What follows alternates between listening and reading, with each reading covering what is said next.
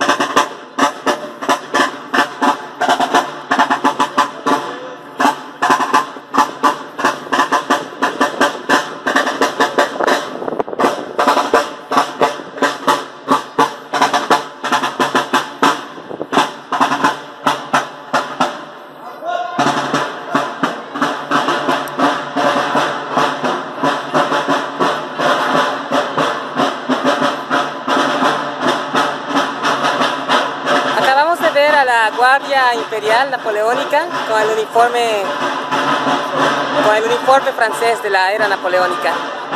El día de hoy en Les Invalides, frente a la estatua de Napoleón, por nuestro emperador, por la Grande Armée, Vive la France. Estamos en la capilla de Les Invalides. Aquí están enterrados varios generales franceses y varios soldados que dieron su vida para proteger a Francia.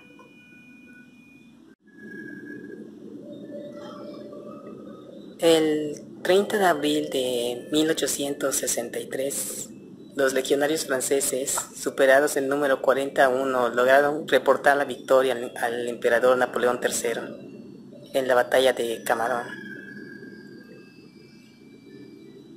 80 años después, en el desierto, el general Marie-Pierre Cunning, con 3.500 legionarios franceses, lograron vencer a más de 45.000 alemanes en la batalla de Birhaken. Él les decía a sus hombres, recuerden camarón, si caes en el campo de batalla luchando por Francia, automáticamente obtienes la nacionalidad francesa. Sus legionarios caídos en combate se volvieron franceses. Y Francia renació ese día, aquel 27 de mayo de 1942. Viva el general Conin, mariscal de Francia. Estamos en la capilla de los inválidos.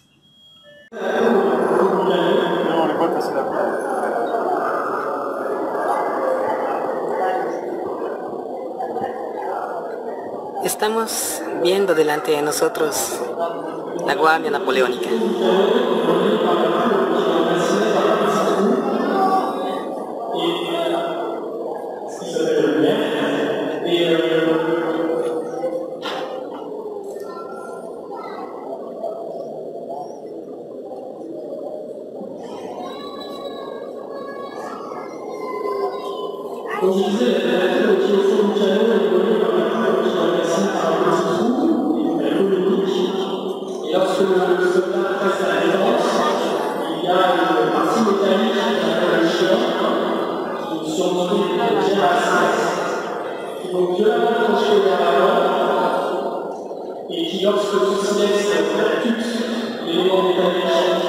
que a Casi, todo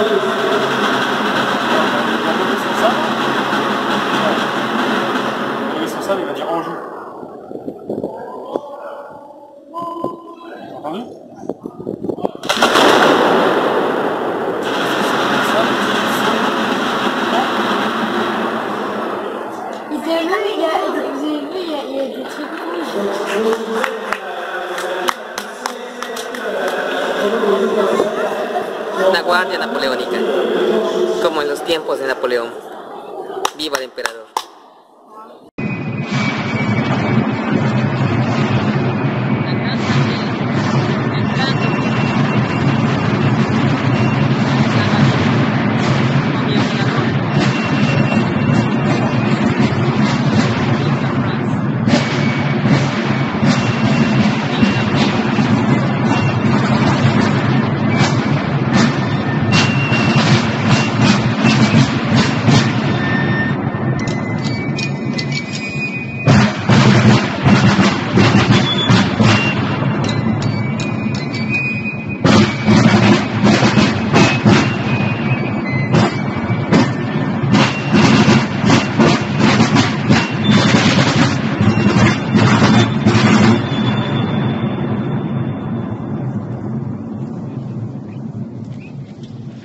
痛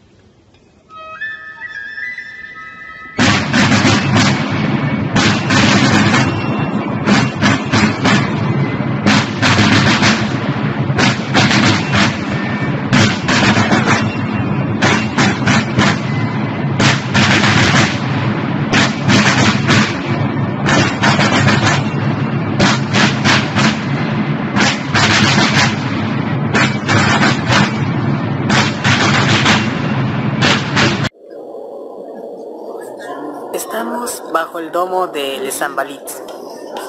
107 metros de alto, la capilla,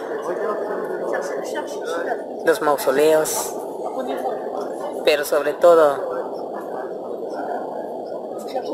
el emperador. Napoleón Premier de France.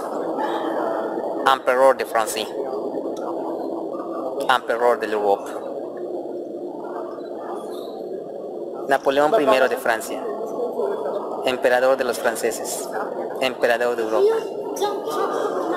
Gracias a él y a sus victorias, las ideas de la Revolución Francesa, de la libertad, la igualdad, la fraternidad, se extendieron por toda Europa y posteriormente por todo el mundo. Gracias, Napoleón. Deseo que mis cenizas reposen sobre los bordes de la Sena, en medio de este pueblo francés que yo tanto amé. Napoleón Bonaparte. Ese fue su, uno de sus últimos deseos. Estamos en la entrada de, de su tumba.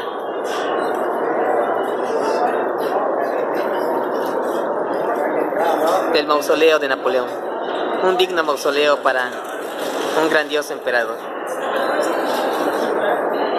En la entrada, de este lado, podemos ver el águila imperial francés. El símbolo de la victoria napoleónica.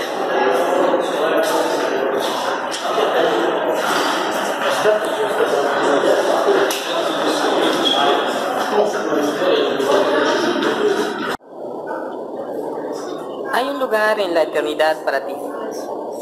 Se dice que lo derrotaron, pero no es cierto. 200 años después, el código napoleónico aún sigue, aún sigue siendo vigente. Las ideas de ilustración, de la libertad, de la igualdad, de la fraternidad, aún siguen reinando. No solo en Francia, sino en todo el mundo libre. Si no fuera por él, Europa seguiría hundida en el oscurantismo. Y la flama de la Revolución Francesa se habría extinguido por las oligarquías feudales medievales. Austerlitz, llena sus grandes batallas. Y el día de hoy, a tan solo unos metros del emperador.